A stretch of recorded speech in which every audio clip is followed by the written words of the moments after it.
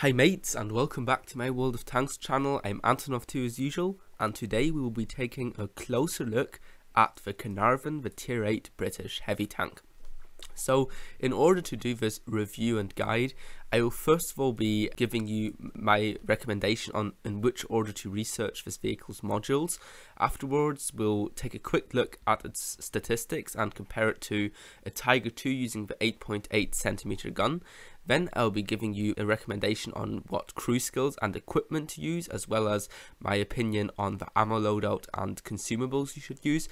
And then finally we will take this tank out for a spin and I will teach you how to use this tank the most effectively on the battlefield.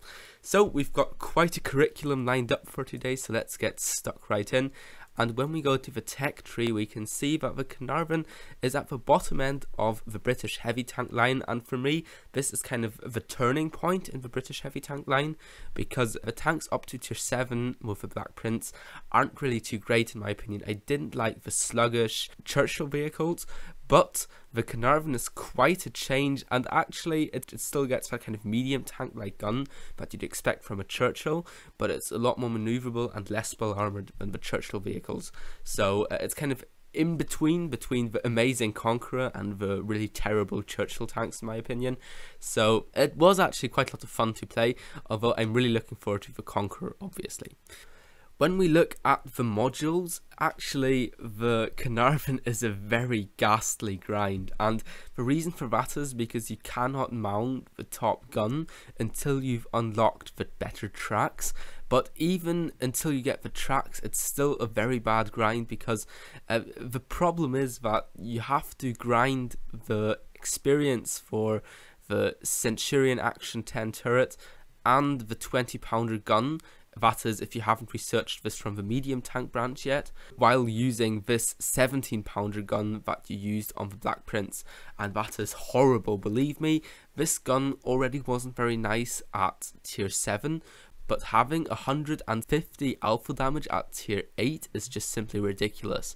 So uh, that is pretty painful, but after you get the 20 pounder gun, really you should go ahead and upgrade your engine and radio first, then get the suspension, and last of all get the best gun because the upgrade, although it is kind of significant, it's not that big of a deal really, and the 20 pounder gun is already very competitive.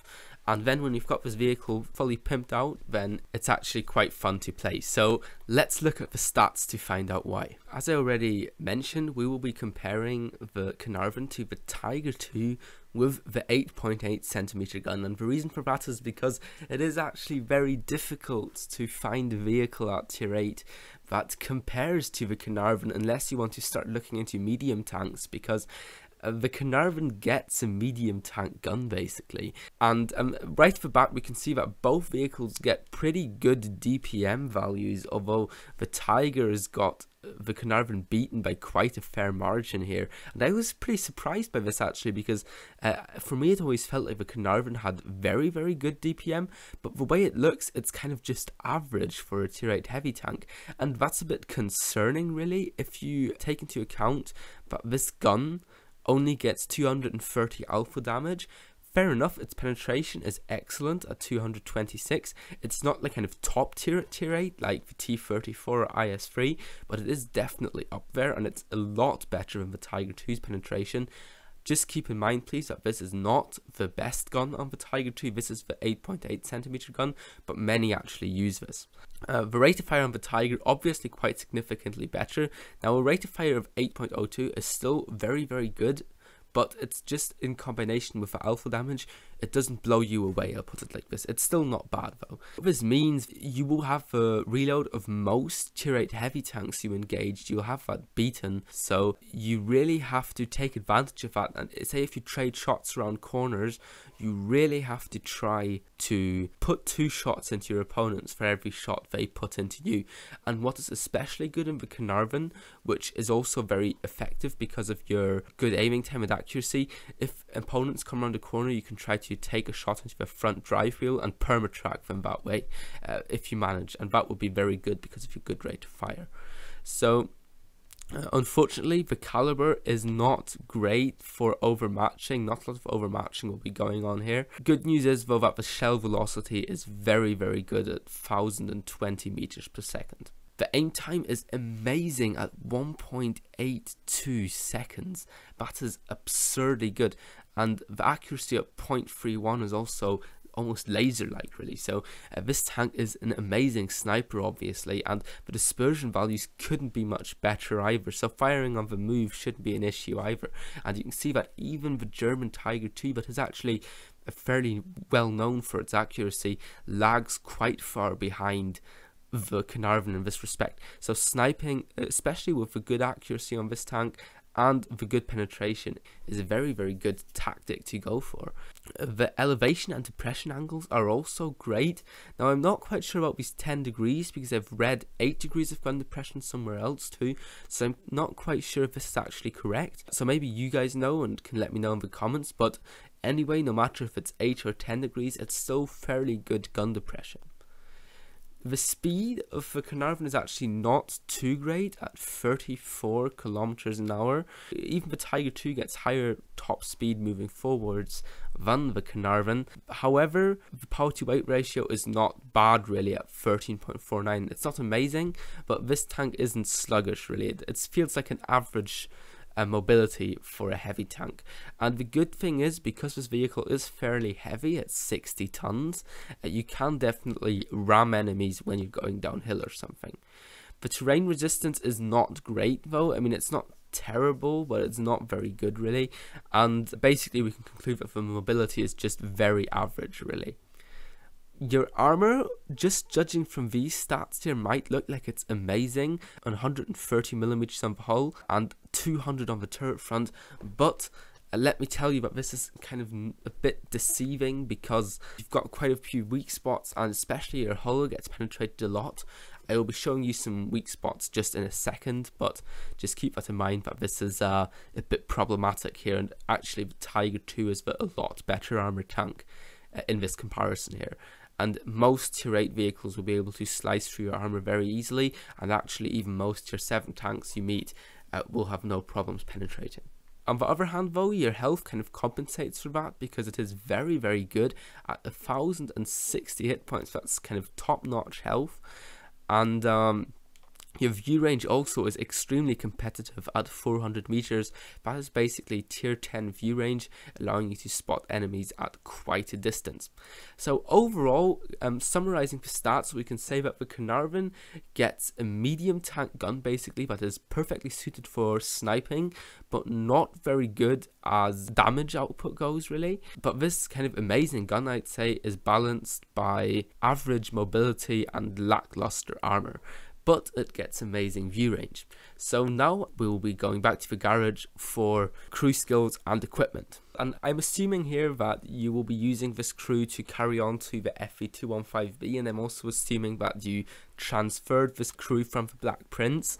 So you should really have skilled repairs already because repairs is um, imperative to have on any Churchill based tank. And that also goes for the Caernarvon because of its kind of bad armor and suboptimal mobility. You can't really afford to get tracked in the open. So repairs is very important and actually Brothers in Arms is not the most important skill on this vehicle because the gun stats are already so good that you won't feel much of a benefit from Brothers in Arms. Still, it's just it's such a good skill to have that I would get that second really. On the Commander, I would definitely go for Sixth Sense though instead of Repairs as the first skill and then um, get Repairs maybe third, but there's a bit of a toss up here because actually Recon is also a really good idea on the Caernarvon as a third skill. I actually might get recon over repairs as a third skill even, but that kind of depends on the equipment loadout you go for and we'll talk about that in just a second. Then I'd probably get repairs and after that jack of all trades would be a very good idea I'd say. For the gunner, after you've got repairs and brothers in arms, there's no question about it, I'd get Snapshot because this tank is really good at firing on the move, and that goes for all British heavies really up to tier 10. So, getting this will further increase that advantage and make you more competitive. Afterwards, you have to decide between Armorer and Deadeye, I'd say. Maybe get Deadeye first because it's a perk, so you will get the benefit of being able to skill it quicker as a fourth skill, and then you can still get the benefit of a slow scaling of armor as a fifth skill, so that's what I would do probably. For your driver, it's the same story. You want to get Smooth Ride as a third skill, then as a fifth, it depends on your personal preference really. Maybe clutch braking wouldn't be too bad actually to do something about that maneuverability, but also off-road driving could be useful because the ground resistances aren't great on this vehicle.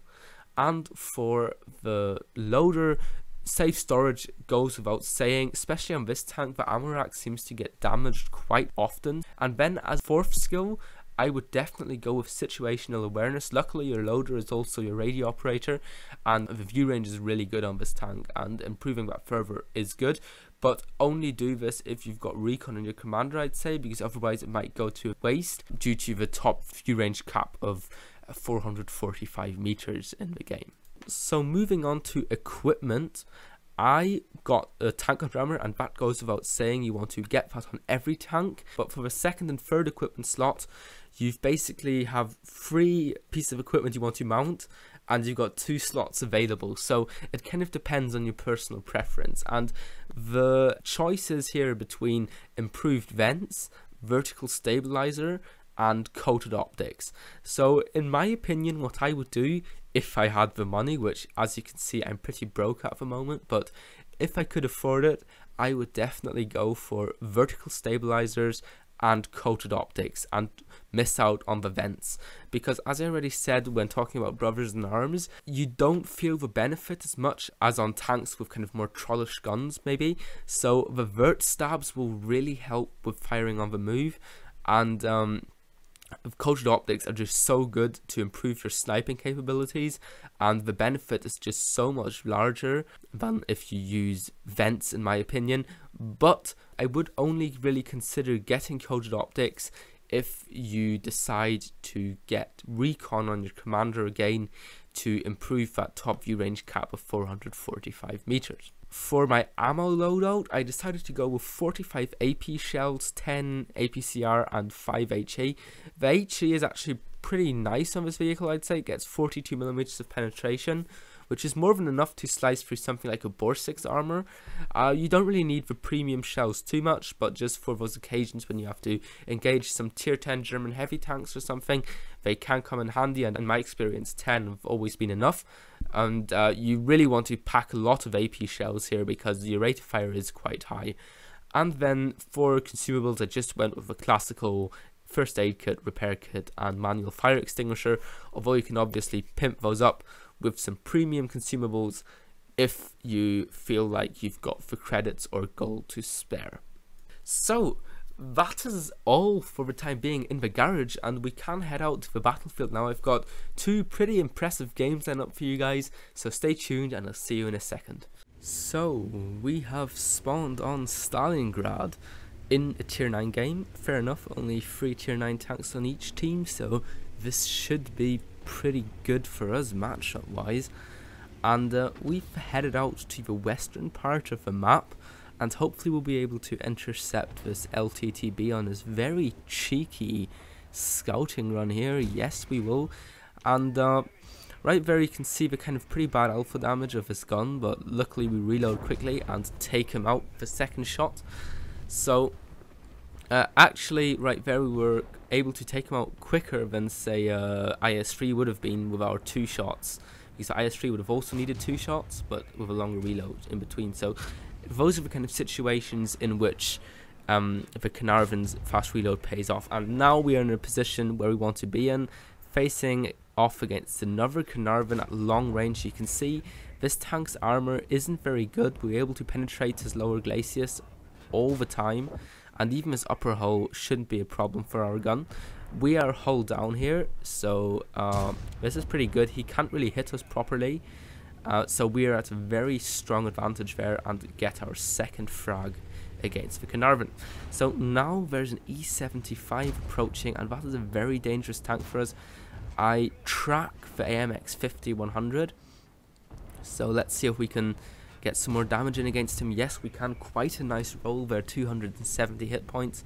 And now we have to retreat because we definitely cannot take on the E75 one-on-one. And right there, for example, an IS-3 maybe would have been able to go through the lower glacis of that E75 there, but unfortunately we weren't. Using those mechanics with the wall to hit the AMX 50 100 anyway and take him out. And right there you can just see how that is the real strength of this vehicle, being able to switch between targets very quickly, aim extremely fast, take those quick shots, draw behind cover again, kind of um, almost guerrilla type warfare this tank does. is just, it's a lot of fun, honestly. Uh, once you kind of get the hang of it, at the beginning it can feel a bit, you know, the lackluster alpha damage and not that great mobility at the beginning. You kind of think, what what is this tank actually good for? But it, it's just, it feels so rewarding that kind of ability to switch between targets, to just uh, you know, take an enemy into your scopes and basically be able to fire at him instantly almost is just so satisfying. So luckily we get the rear of this T29 here. He doesn't seem to be expecting us. We ignore the Pershing to um, take out the T29 first, one gun less facing us. Now I uh, luckily get the tracking shot. That was pretty close, but I get the tracking shot on the Pershing. That is very good. And I take a shot from him. Maybe unnecessary there, but I get the kill, so I guess it's worth. And uh, now it's 10 to 7 as the score 10 to 8 actually. Uh, so it's not looking too bad for us. Unfortunately though, they still have got two tier 9 tanks where we only have one. So it's still, you know, it's not uh, decided yet this game. 10 to 9. Oh, this is this is not looking good actually. We might lose this one. Um, we've got 5 kills. Luckily, I'm going to speed the game up a bit here because I don't think a lot happens right now. Um, we're just making our way towards the enemy base because I'm hoping to, uh, as um, both enemy tier 9 tanks are spotted quite far to the north, I'm hoping to maybe cap here. But now I figure, well, they've got a T49, he'll be able to interrupt me anyway. So rather than cap and be a sitting duck because this um, this uh, AM, uh, T49 basically only has to sneeze on me with its his HE shells and he'll take me out. And right there you could just see again the very quick aiming of this vehicle. Uh, being able to take that snapshot at the T49. Anyway, so that's the reason why I decided not to cap uh, and um, rather to try to chase this T49. Unfortunately, this is pretty difficult being on my own, and this is really where you'd hope that you'd have uh, better mobility here. But um, but still, maybe we can do something. I have to be very careful. This is all about mind games here now, really. What will the T49 do if he comes behind me and gets me in the rear? That's really bad. Uh, but luckily, I get the jump on him. And uh, now he's looking for a shot. This is really bad. He'll need two shots to finish me. Uh, he'll need one shot to finish me off. I will most likely need two. So this is really where you'd hope to have that slightly higher alpha damage, even only 320 alpha damage, like say the Tiger 2, the 110, or the T32 would be um, sufficient here. But unfortunately, we have um, only 230 hit points of the alpha damage. That is not very good. Now the T10 has begun to cap. I'm still going to speed this up a bit here because uh, not a lot happens, but then unfortunately the T Type 4 Heavy um, gets us in the rear. He pops up surprisingly. Wasn't expecting that, and he gets us. But I guess uh, the T49 here and the M12 would have probably gotten me anyway at some point with their high explosive shells. Still, uh, we go on to lose this game, obviously, unfortunately, and still the reason why I wanted to show this to you is because I think it really showcased the ability of the Caernarvon to uh, take those quick snapshots, right? And that's something that is really good on this tank. But now maybe let's uh, head out to another game and see if I can win this one. So for our second round of the day we've spawned on Ensk and this time luckily I am at the top of the food chain so that is very nice to see and um, I'm heading out to the eastern part of the map here. Now you might be wondering why I'm doing this, uh, because usually heavy tanks go into the kind of urban area on the west of Ensk, but in the Caernarvon, uh, because this tank is so good at sniping, I figure that I might be able to make use of my accuracy if I go over here. Unfortunately, uh, just when I say that, I miss a shot against a Hellcat. That is a fairly chancy one, though. But there I hit, and that is something you could never pull off in uh, most tier 8 heavy tanks, really. So that is a real um, plus of the Caernarvon. And right now you can see this is just really what the Caernarvon is made for. Long range shots. Uh, no chance for those Cromwells there and just laser like accuracy rate. This is really good on the tank. And you can see the aim time is amazing. So unfortunately that one hits the house, not the Cromwell. But that's just something you can do too because uh, the shots are so reload so quickly and do so little damage in the Cromwell. Uh, sorry, in the Caernarvon you can, you know, afford to say shoot away cover which uh, enemies are hiding behind to get better shots of them that kind of stuff. And that's something you can't usually do in, uh, say, a T-34 or something. So we take out uh, our first tank, Cromwell, in the enemy team, and now um, a KV-4 is approaching, so that could be a tough nut to crack. But before I concern myself with him, I want to take the artillery out of the game. Again, you can see the great accuracy um, coming into play here. And now luckily we get the side of the KV-4's turret. I keep driving, can see the good accuracy on the move here. I keep driving because I don't want to have to fire up the front of the tank. I set the KV-4 on fire. Unfortunately, it looks like he's got an automatic fire extinguisher. We put another shot into him, high roll, but not enough to take him out, obviously. There's no chance of that happening. And now, last shot, and yes, we secure the kill. So, I take a shot from a tier 7 medium tank, but I'm going to focus on the IS-3. Unfortunately, I kind of missed the front drive wheel there. That was a bit of a misplay for me. I should have taken the time to aim for his front drive, drive wheel. But I now decide to go for his upper glacis, penetrating it because it's at an angle. And now I go for another IS-3.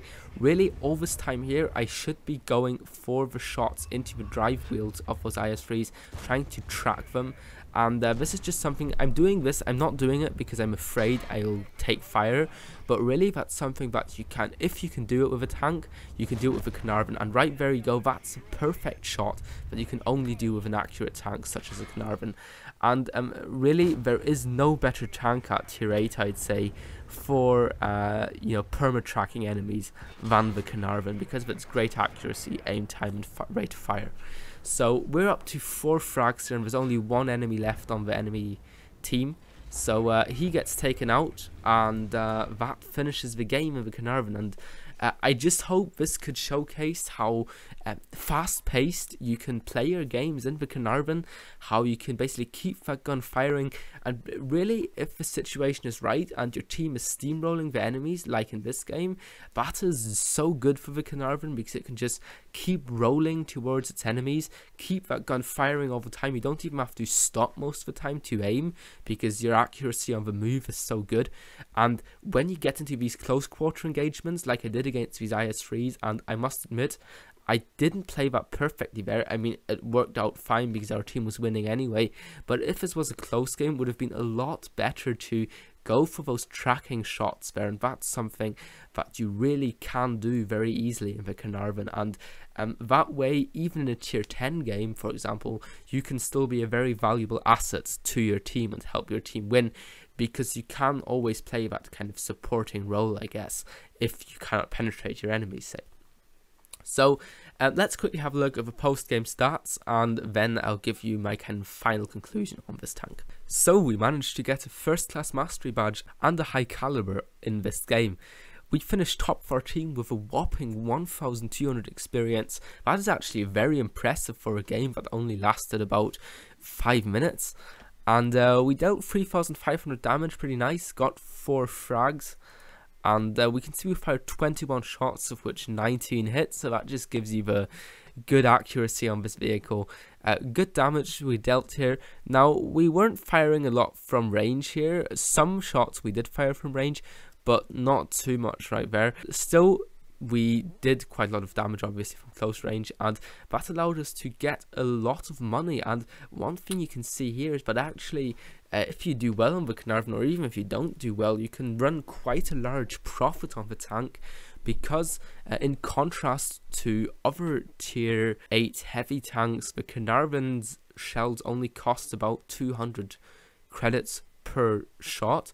So you don't have to be so afraid about pulling the trigger like you would have to be on, say, uh, T34 or T32 and IS3. So this tank can still run you a profit, although it isn't a premium tank. And for those who don't run a premium account out there, this might be a very interesting option for you guys. Now, obviously, the repair costs weren't very high in this game because I didn't take a lot of damage, so that's something you should take into account. Uh, yeah, the Caernarvon, basically, if you can either keep it at a range and play it as a long range support tank with that sniping fire, or if you can come in close, have allies that support you and take hits for you, and you can say track enemies or aim for their weak spots with those very nice snapshots thanks to your great aim time, then the Caernarvon is definitely a force to be reckoned with. And honestly, although at the beginning I was kind of doubtful of this tank, it is worth, you know, bearing through that pain of a grind I think the Caernarvon must be one of the worst grinds in the game.